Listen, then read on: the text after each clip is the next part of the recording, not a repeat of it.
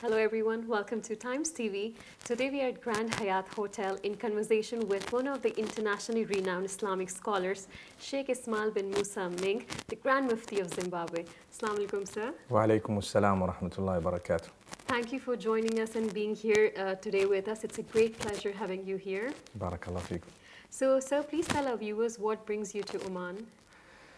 Well, mashallah, the people of Oman, and uh, they've invited me to come in, I think, three years back, and uh, it took us three years to actually make that arrangement due to the time and so on. But mashallah, uh, I pray that inshallah we can interact in a good way, in a way that we can uh, uh, all become better people and learn to develop our relationship with the Almighty and the relationship with the rest of the creatures of the same Almighty. Right.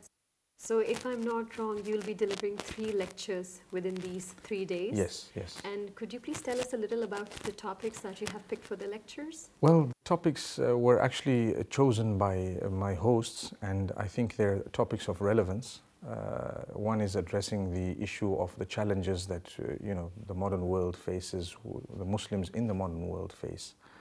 Uh, one is addressing the issue of the true message of the prophets of the Almighty uh, I think with a lot of people turning away from religion, looking at it as a, uh, as a burden rather than uh, an asset. Mm -hmm. And the third is uh, regarding women and you know what Islam says about the, their role in civilization. And I think that's an important topic as well because there is a lot of misconception, there is a lot of mixture of culture with faith.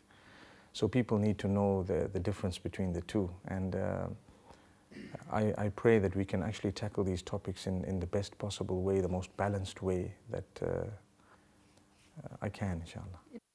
So, sir, about the um, challenges of women, I mean, role of women in Islam, how do you see that topic? It's, it's a balance between what's happening uh, through cultural, uh, you know, uh, teachings that are sometimes quite backward, some of them, uh, not all of them, and sometimes a misinterpretation of Islamic teachings, as well as uh, you know the the other side of it, where people are are trying to abuse women with the name or you know with certain words and so on, and, and uh, fooling them into believing that this is actually uh, what we're supposed to. Uh, and, and the balance of faith, whether it's Christianity, Judaism, or Islam, uh, and many other faiths, you know, mm -hmm. generally there would be a good balance when it comes to a person who has within them that faith. You recognize the Maker, you have a good level of values, and uh, you know the the role that is played by women, the role that's played by men. Uh, there is a lot of uh, uh interlocking, and there is a lot of uh, goodness in, in, in playing these roles and understanding them. You know, when we talk of equality, for example, people use the term uh, inequality mm. uh, a lot. And, and yes, definitely we have been facing over the years, like I said, in marriages, in divorce, and in, in so many other matters and issues where people uh, tend to abuse women either way, you know, either by putting too many restrictions on them or by letting it so bad that they can be abused. There's no one to actually protect them sometimes. Mm. Or they're unable to protect themselves because of uh, the, the, the, environment. So to create an environment that is beautiful, whereby uh, both men and women are protected, a very high level of uh, conduct and character, uh, I think it's a very challenging topic, to be honest. Yes, because and I personally am looking really forward to this topic. Yeah, to strike that balance is not easy. You know, you'll always, uh, you'll always hurt people who have different ideas. Hmm. But we need to know that uh, when the Almighty has said something, uh, you know, He's the Maker. So you either believe or you don't believe. If you don't believe, you know, you're free not to believe. You cannot believe it's between you and the Almighty. And if people like us would like to believe, uh, for as long as that belief does not trample on the toes of others, uh, I think it's uh, just as free for us to believe. So if I believe that, you know, modesty, for example, would require that uh, a woman uh, dresses uh, according to a certain standard, for example, uh, and if, if, if I'm a woman and I believe that I should be doing that, I'm free to believe that. I mean, if you're dressed in a specific way, who am I to tell you that, you know, uh, this is it and that's it. If you believe in the Almighty, that belief itself should make you realize that this is what I think I need to do. And Yes. Basically, it comes within. it, it comes from within, it comes from your belief. Because if you were to force people to do things, whether you force them to, to, to wear specific clothing or to remove specific clothing, and I'm saying this because the common factor here is to force. You know, some people force the, the women to actually cover in a certain way.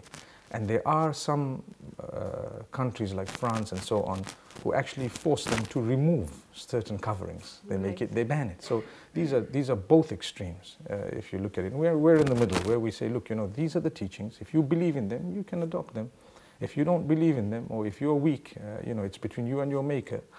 Uh, I mean, I cannot impose Islam on someone who's not a Muslim, and someone who's not a Muslim cannot impose their uh, atheism or their religion or belief or, or disbelief on, on a Muslim. So it's, it's fair. It's a, and this is how we will grow as a globe. And I think uh, what's the mistake that's being made today is to deal with one extreme, we're actually going into the other extreme. Right, absolutely. So, sir, tell us a little about your journey. How did you start? How did you get to where you are right now? It's a beautiful journey. I think uh, it started with my, uh, my father being an imam and, and, and a religious teacher, and uh, myself memorizing the Quran with him at a very early age and learning, you know, books and learning religion and uh, languages and so on as I grew older. And uh, I had the, you know, the good fortune of uh, being born in Zimbabwe, which is a very, very diverse country with people of all sorts of faiths and, and races as well. So as I grew up, uh, secondary school, I happened to go to a, a private college, which was a Christian college, and thereafter I went to Medina Munawwara. It was just amazing. It was amazing how it worked out. And after that, I went to India. I learned, uh, I learned Urdu, actually, to be honest. Oh, nice. And uh, I- yeah, I studied quite a few other things. And then I came back. I started off as an imam, a teacher, a lecturer. I, I was uh, appointed as a mufti at the, at the Council of Scholars in Zimbabwe. And uh, we progressed from there. And subhanAllah, uh, we, we got to where we are today, mashallah.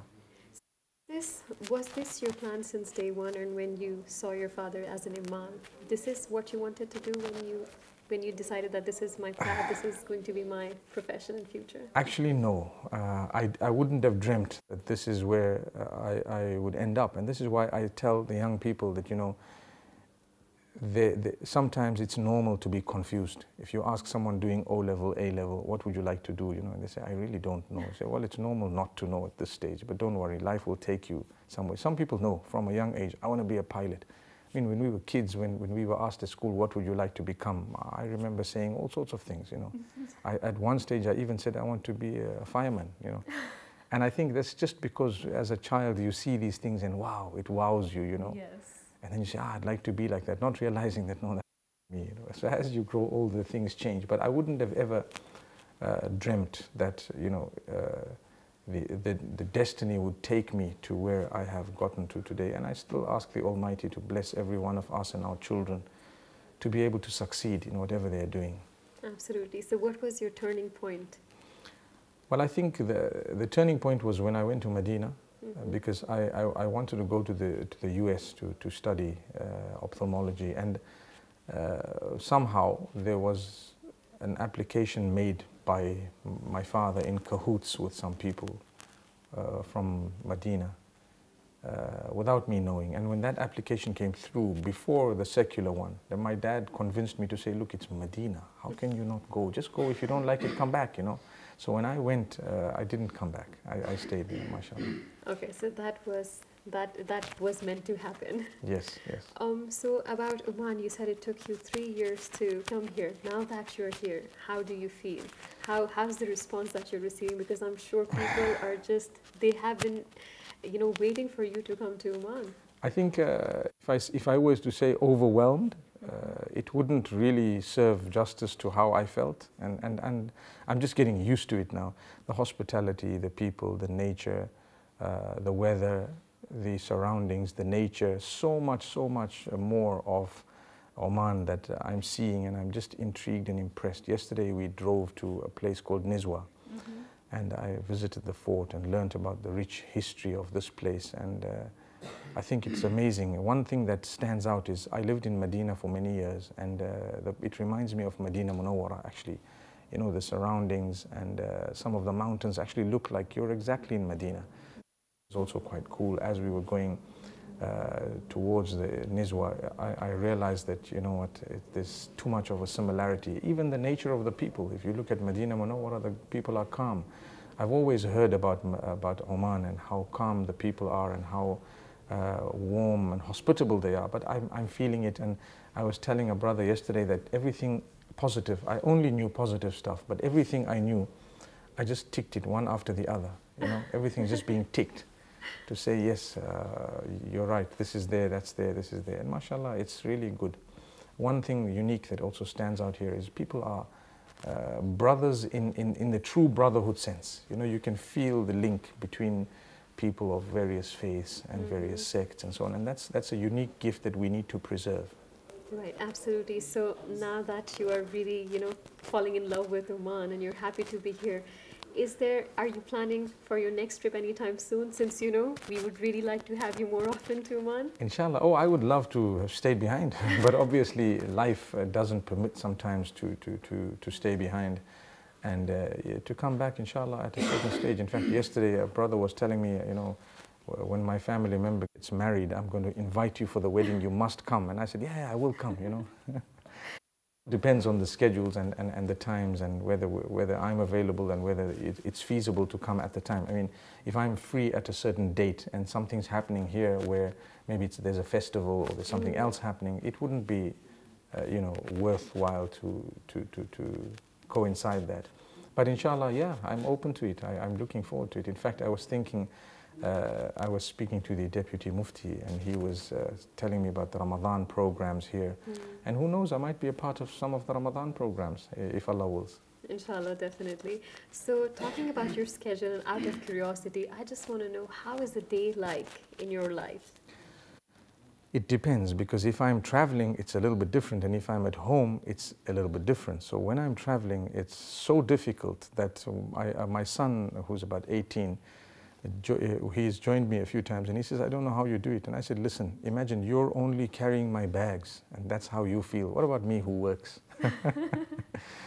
so it's, it's a tough day because one thing I've realized is people are always excited when you get somewhere, not realizing that you've just been to a place before that and another place before that. Mm -hmm. So like food, I, I, give you an example. Here, they're so hospitable, they make sure you eat. We went to Nizwa and the elderly man from there, uh, Am Salim, he was making us eat. And, and I'm trying to tell him, hang on, I've eaten. You know, I usually just eat once a day. And he was making us eat. And he said, no, no, you have to. And so, so they told me, well, today is the exception. You, know?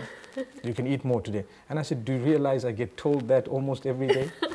I was about to tell you, if you visit him the next day, he'll tell yeah. you the same thing that it's an exception but today. What he doesn't realize is, uh, because I go to different places, it's not like I was at home and I just came here and went back. Mm -hmm. In fact, I, I, have come here in the Philippines for, uh, for uh, and so, subhanallah, everyone thinks, well, don't worry, it's an exception. When you go home, you can, you know, you can go back to your routine. But that's not it. You have to be uh, in your routine even on travel.